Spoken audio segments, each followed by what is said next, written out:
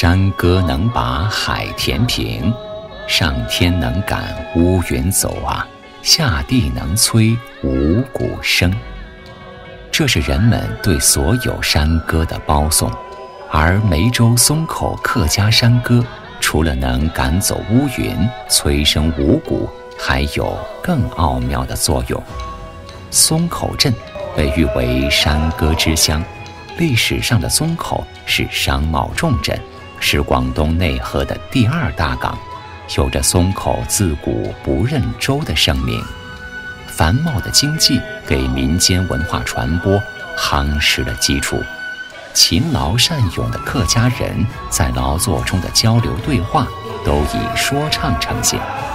长久以来就形成了独具风韵的客家山歌。而今的客家山歌在保留传统腔韵的基础上，又加入现代元素，使之优美婉转、洋洋盈耳。据说，听唱客家山歌，不仅能让你心旷神怡，还能延年益寿。具体详情请关注《寿香密码》之梅县。